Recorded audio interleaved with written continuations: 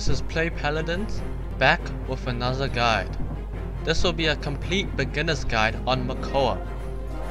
I've got to warn you though that the first few hooks I throw aren't very good. First, I want to talk about the loadout I'm using.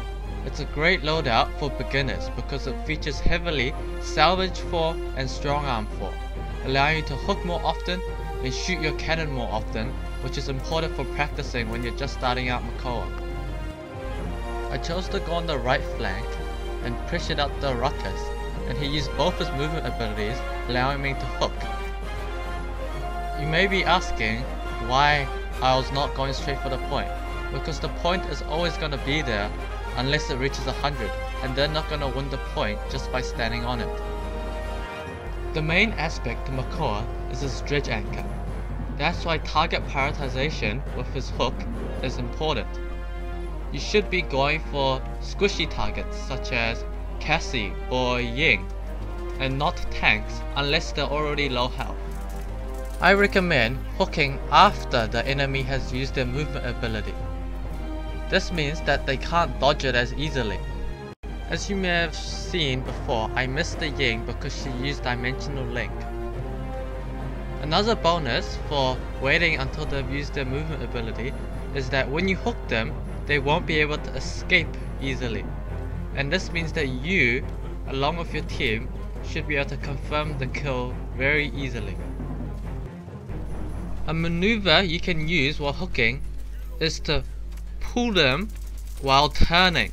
That way you can position the enemy where you want them. For example, you could turn 180 degrees so your opponent becomes disorientated and confused as to where they actually are.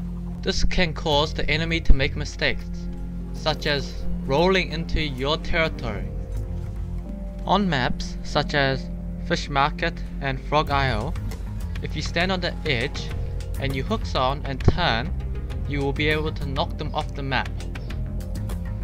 The dredge anchor can be used in tandem with other abilities for great combos. For example, if there's an enemy Fernando with his shield up, you can shell spin behind him and hook him from the back.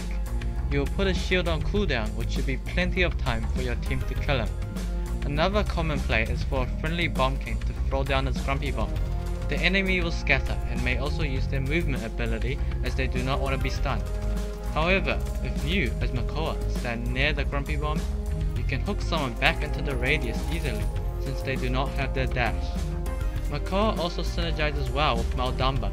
You hook and mouse stuns, which should buy plenty of time for your team.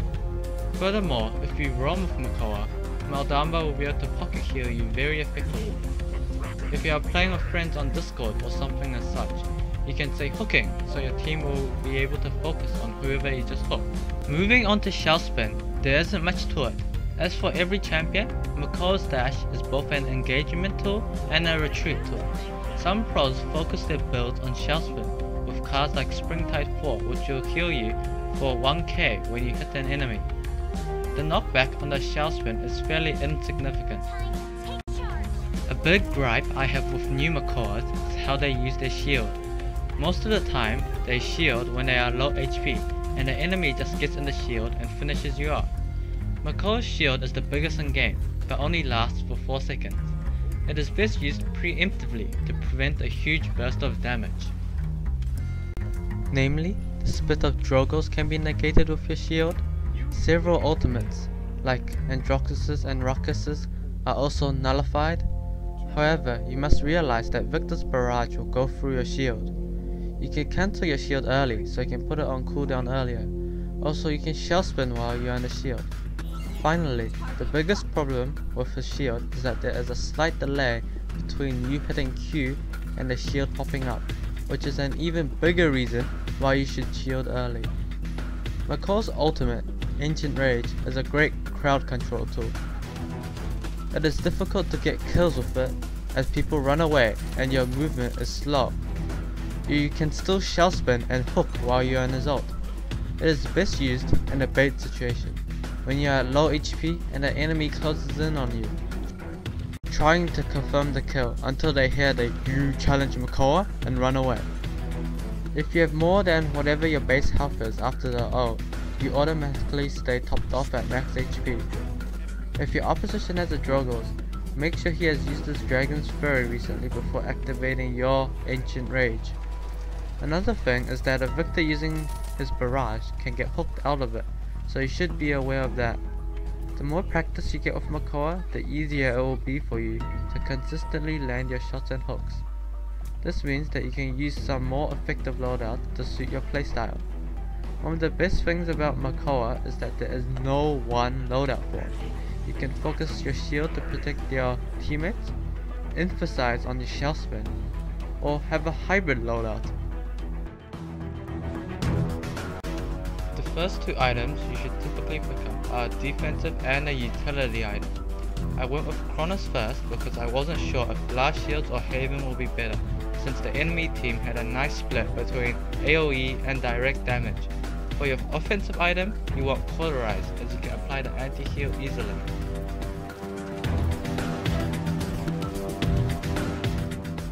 The great thing about this game is that the enemy has three pearls, DLS, Rice, and Kunt, the caster's nightmare, albeit they are not playing their mains. Even though DLS and Rice are playing Bumpkin Drogoz, AoE champions, I've gone with Haven because I've been fighting Ruckus a lot. That was a great hook in mid-air. Rice stored as Drogoz, which is a big no-no. Cassie, played by Kunt, must have gone to the Prometheus school of running away from things, only running in a straight line allowing me to get an easy hook, confirming the kill. So that was a fairly surprising quick game. Let's have a look at the top play by Chrono Amazing on my team.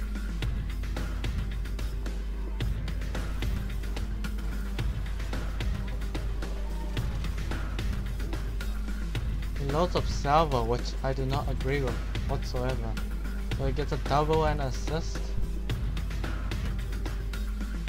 Makoa is the best frontliner at flanking, and which will be reflected in my damage. This has been Play Paladins, Learn, Play, Repeat.